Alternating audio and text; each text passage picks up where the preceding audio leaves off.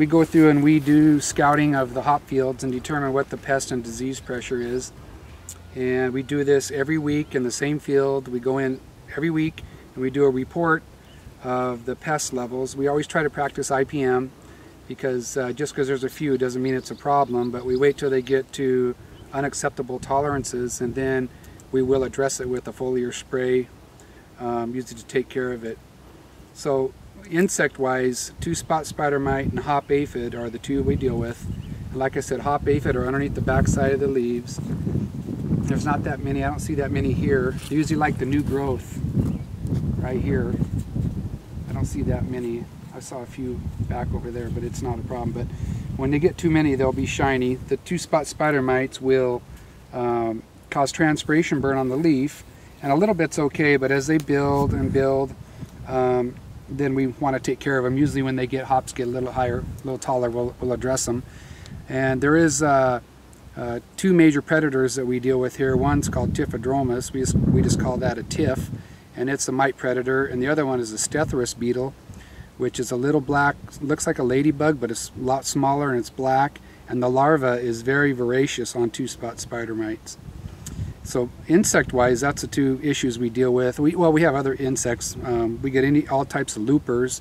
Aren't we, those are easy to take care of. We try not we try to live with them for a while. Uh, what else do we have? Um, there's all kinds of uh, there's where there's black vine weevil and there's prionus beetle in the ground, but um, that's not a major problem here. Uh, the other issue we have is powdery mildew, as you can see right here.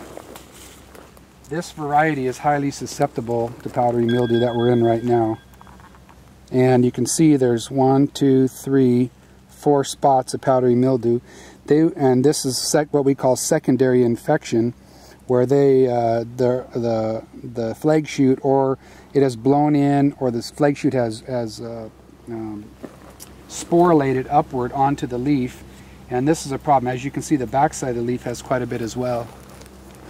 And that's what powdery mildew in hops looks like. The problem we have with powdery mildew in hops is when the hop becomes flowering, the, the burr itself becomes very susceptible to powdery mildew. Um, it's like a magnet for sporulation. So if you got a burr, which looks like a, oh, it's, it doesn't, it's, it's called a flowering stage. It doesn't, it's not really a flower, but it, it looks like a flower. We call it the burr. It's got fingers that come out. It's very attractive to powdery mildew. Once powdery mildew gets on the burr, it ruins the hop cone. Um, it pretty much knurls it and so it never really develops into a cone which is a major problem. As you can see down here there's a little more mildew and down and the other issue I was going to tell you about is is downy mildew but this is all powdery mildew that's been controlled. You can see powdery mildew will blister before it before it goes to the white mycelium. Lots of blisters right here and it's usually worse on basal growth. You can see it right in here. Here's, here's a leaf with quite a bit of powdery mildew. And this is a big problem. This right here is downy mildew and it's this is called a spike. As you can see the shoot difference between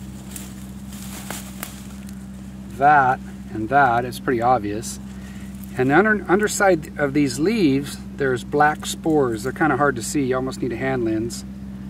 But you can see them. This one's very more like a gray. But that's that's what it is. And, and this is an internal problem. It'll it'll ruin the crown um, if we let it go. So we address this. And we don't uh, on a cool. If you if you live in a climate where it's uh, uh, cool and wet a lot in early spring, with certain varieties, you'll see a lot of downy mildew.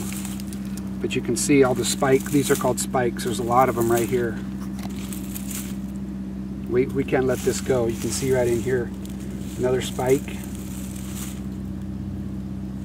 And what will happen with the downy mildew is it'll sporulate a lot like powdery mildew will, and you'll get secondary infection, and then you'll start getting spikes up here, and then you're pretty much done. Once you get spiked, it's not going to grow there's some more powdery mildew. So we've, we've, right here we've seen downy mildew and powdery mildew.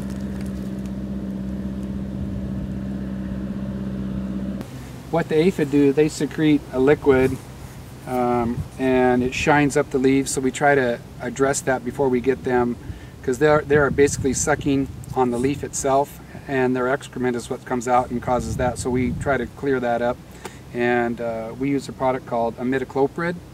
Uh, there's several names for it, but that's the that's the um, active ingredient that we use to control it. It does a pretty good job.